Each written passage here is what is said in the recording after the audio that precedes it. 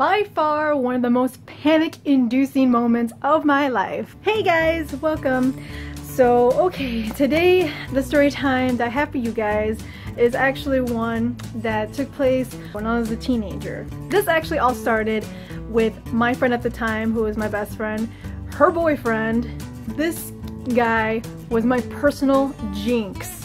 I swear, every time we all hung out, all three of us hung out, I would always get injured in the most bizarre ways. For an example, one time I had this bracelet with all these spikes around it and everything, and he took it and he was teasing me with it and like we always hung around the playground, not like just to hang around and just chill and whatnot. So he would go up on top of the playground and just like kind of like dangle it in front of me and say like, ha, I got your bracelet. I remember he threw it down so I can get it. After I just have had enough, I said, just give it back to me. He threw it down and it hit me right here in the face, spike first. And I remember I had a like a dot right here blood. So that was one of the bizarre injuries I acquired with this guy. As you can probably guess in the title below, this is another one of those injury mo injured moments. So this all began when we all decided to go and hang around. Again, we went to the playground just to chill out because we just always we would always walk around the neighborhood, just chilling out, and talking and whatnot, laughing. So we went to the playground. I had on these nice sandals. They were sort of like flip-flops, but like with a pretty thick heel, not like regular flip-flops. And so I had those on and I was just walking around the playground and you know like the little bridge on a playground. I was up on there and I decided I just wanted to like sit down and let my feet dangle and just relax in the nice summer breeze so I took off my sandals. Well, this guy, let's call him Doug. Doug decided to grab one of my sandals and again take it and tease me with it saying haha I got your sandal. Ha ha ha no not funny man because I was so I was just I was getting irritated. I just like I'm just like just give me my freaking sandal because I I could not get down on being barefoot on wood trips. Hurts so I was just getting irritated. I was so irritated to the point where I actually did get down and I kind of like hopped on one leg over to the grass and I just said, just give me my effing sandal.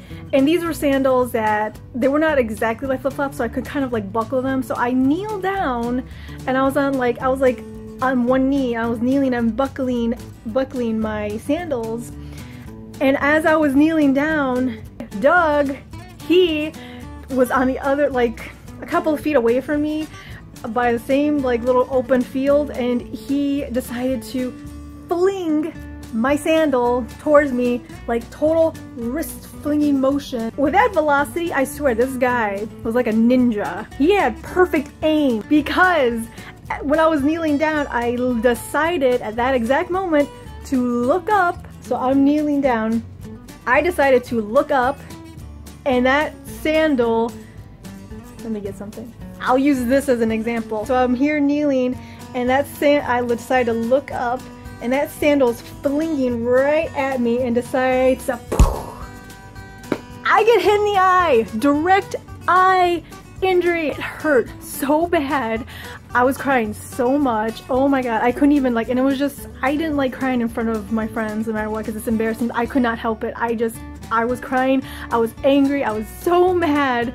I was just yelling at him saying, just get away from me. I was so upset. Needless to say, I just told my friend and her, um, her dog to go home, like just leave me alone. I'll just call my mom to pick me up. So I did.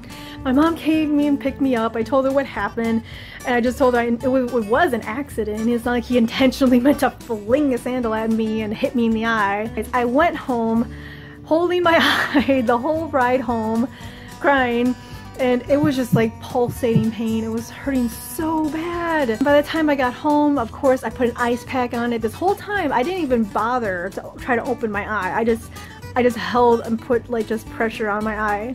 So when I got home, I got an ice pack. I put an ice pack on my eye. I just laid down. I just laid on my bed. Well, a few hours went by and I'm like, okay, I think I'm better. Let me try to, let me try to take the ice pack off. So I took it off I tried to open my eye a little bit.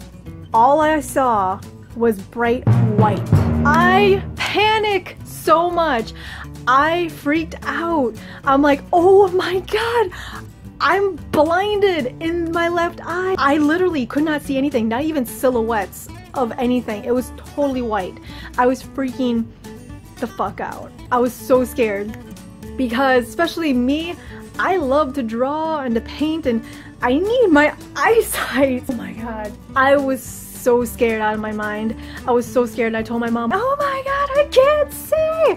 I'm blind! And she's like, calm down, calm down, relax, put the ice pack on, try and get some sleep for the night and if you're, if you're not better by tomorrow morning, then we'll go to the emergency room, we'll go to the doctor and see if there's anything you can that can be done. Uh, needless to say, I could not sleep. I, I was panicking. My mind was just racing all night.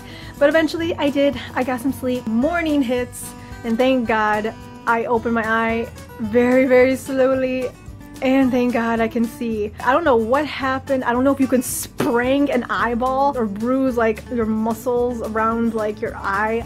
I don't know what happened. I'm not a doctor. But yeah, that little jinx of a child injured me more times than one. Like I said, in the most bizarre ways. Like, I tried to avoid him after, after that.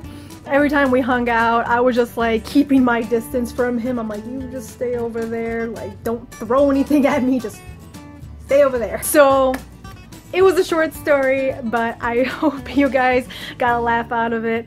I really hope you liked it. So, I'm actually going to try and upload a face painting video for today for you guys too because someone did leave in the comments that I should do a face painting videos because I do that in my spare time for gigs and birthday parties.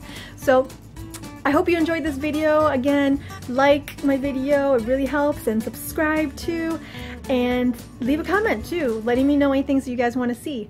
So I hope you guys enjoyed it, and thank you so much for watching. I hope you guys have a good day, evening, or night, wherever you guys are from, and I'll see you guys in the next video. Bye!